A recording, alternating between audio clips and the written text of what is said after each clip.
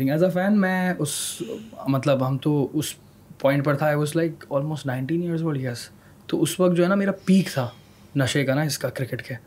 लेकिन वो दिन था जहाँ ना मेरा बहुत दिल टूटा था। मैंने अपने एक, एक बार रोमान रईस के पॉडकास्ट में बोला कि ये था मेरा पॉइंट जब मेरा दिल टूटा था एज अ फ़ैन कि मैंने बोला दादा ये नहीं हो सकता। हमारे बड़े दिल टूटे हर जगह पे। आपका कब कब आपको लोएस्ट पॉइंट लगा कि यार ये नहीं देखिए वो हम हार गए 2000 यहाँ का वर्ल्ड कप हार गए। पंद्रह। पंद्रह का क्वार्टर फाइनल हार गए।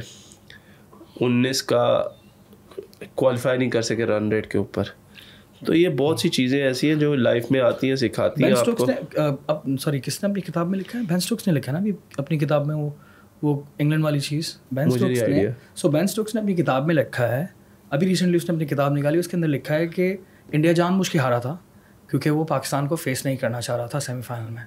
इंग्लैंड के खिलाफ जान के हारा था इंडिया उसने ये लिखा है मतलब वो क्लेम कर रहा है। एंड आई डोंट नो इसमें कितनी सच्चाई but Ben Stoke Ben Stokes बहुत बड़ा नाम है। एंड इट वॉज़ मैं एक्सपेक्ट कर रहा था धोनी से कि यार वो बहुत बैड सीन था मैं काश वो तो बस ऐसे ही था बल्कि आपको मज़ेदार बात सुनाते हैं लोगों तक भी वो बात जाए। तो मोशी भाई जो थे वो थे वेस्ट इंडीज़ के कोच और जिस जिस मैच की वजह से हम लोग बाहर हो गए रन रेट पे अगर आपको याद होगा हम सौ पे आउट हो गए थे एक सौ दस बारह पे वेस्ट इंडीज के अगेंस्ट सोलह पे। कौन सा दूसरा मैच था? वेरी फ़र्स्ट मैच पहला मैच माशाल्लाह से ज़ीरो पे चार थे एक पे चार थे। पता नहीं मुझे कितने पे गया था। तो मैं शुएब भाई इमाम बाबर आज़म इमाद वसीम पाँच लोग थे हम खाने पे गए। इंजी भाई चीफ सेलेक्टर और मुशी भाई हमारे साथ। तो मुझे मैंने वहाँ पे बैठे हुए कहा हुए हुए हुए कल तनु बड़े बाउंसर पहने ने। तो हमने इग्नोर कर दिया बात को वहाँ पर तेरे लिए तो सिला लेना है। मतलब स्लिप हाँ अब इमाद वसीम और इमाम को ज़रा शौक है वो ज़रा बॉल चढ़ के करते हैं। हम्म। तो लगा कौन सिला लेगा? बाबर आज़म के लिए सिला लेंगे मेरे लिए लेंगे। करे बाउंसर आपको बताते हैं। तो वहाँ पे ना थोड़ी थोड़ी देर बाद ना मुशी भाई छेड़े। तो मैंने मुशी भाई को कहा, यार, मैं भी इतना हो गया। मैं मुशी भाई, आप लोग तो करेंगे, लेकिन ये सोचे जो हम करेंगे। हम तो कश्तियाँ जला के आए हुए हैं। कहते हैं भी तेन नहीं पता की होना कल। तो जी, हम चले गए। रात को सो गए, सुबह उठे, बस में बैठे, हमने ये सारी बातें उनके साथ शुरू कर दी। हार सोहेल भी था बीच में सॉरी याद आ गया। तो हमने ये बातें शुरू कर दी कि, यार, ये रात को मुशी भाई से मिले थे। मुशी भाई ये कह रहे थे, ये कह रहे थे, वो कह रहे थे। ले जी जब मैच शुरू हुआ तो एग्जैक्टली वही हुआ जो उन्होंने रात को कहा। बाबर के लिए सिल्ला इमाम को बाउंसर हेल्प कर रहा था सबको बाउंसर वो बंदा नहीं कर रहा हेल्प नहीं हुआ। मेंटली वो हमारे साथ खेले। मेंटली हमने वो सारी बात टीम में कर दी। जब वो काम शुरू हुआ तो पिन ड्रॉप साइलेंस अगर आप देखें तो हमारे सारे आउट ही उनके खिलाफ यहाँ यहाँ से। और रसल ने बहुत तेज़ बॉलिंग की थी उसमें। वो मैच हमें मरवा गया। साइकोलॉजिकली मरवा गया। बहुत बुरा सीन था, पता नहीं क्या हुआ था। कभी ये क्या क्या होता है पाकिस्तान टीम में कि बहुत ही ख़तरनाक के कि ना ए बी डिविलियर्स वाले मैच की बात करूँगा बाद में ना मैं, लेकिन क्या आप चढ़ जाओ ना, खा जाओ, परेशान हो जाए सामने वाले भी कि यार ये क्या है? और कुछ टीम कुछ मैच में बिल्कुल ही कोलेप्स हो जाते हैं। नहीं, वो होता ही है कि आप जब चाहते हो, हमारा, हम लोग कुछ भी लोगों के डिफरेंट ओपिनियन है इसमें, लेकिन हमारी कोशिश ये होती है कि हम हर एक मैच जीते। और हम हर एक मैच में वो करें। एट टाइम्स क्या होता है कि things don't go your way चीज़ें आपके उस तरीके से टीम के साथ होता है और ये हर टीम के साथ True? होता है। कंसिस्टेंसी लेवल हमारा इशू ज़रूर है लेकिन हम लोगों को इसीलिए वो कहते हैं कि ये ख़तरनाक भी इसलिए इनका पता ही नहीं चलता क्या करना है। बट इट इज़ नॉट कि हम जान पूछ के करते हैं।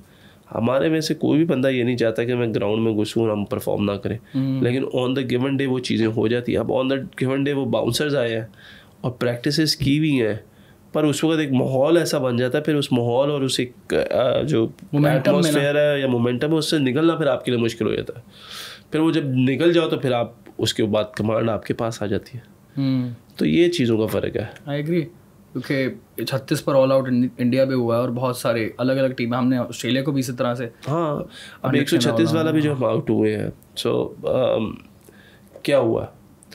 हमारे हारिस हमारा हम शुरू किया हम शाहीन पे डिपेंड कर रहे थे। हम्म। कि शाहीन हमेशा नया बॉल अच्छा करता आउट करके देता है। उस दिन नए बॉल पे आउट नहीं हुए हालाँकि Naseem has bowled really well in that के वनडे ठीक है?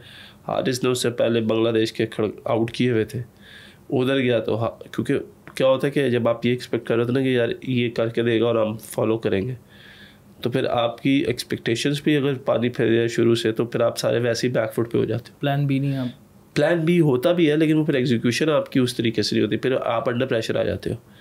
इंडिया को इस चीज़ का एडवांटेज हो गया कि एक बहुत वो कहते हैं ना कि शेर आया शेर आया शेर आया इवेंचुअली शेर आ ही जाता है। हम्म, तो वो बात इतनी हो रही थी पाकिस्तान बॉलिंग की पाकिस्तान बॉलिंग की पाकिस्तान बॉलिंग की और पाकिस्तान बॉलिंग की आप यही समझ लें कि वो शेर वाला हिसाब ही है कि इंडिया को खेलना पड़ गया जिधर आप रेगुलर नहीं खेलते।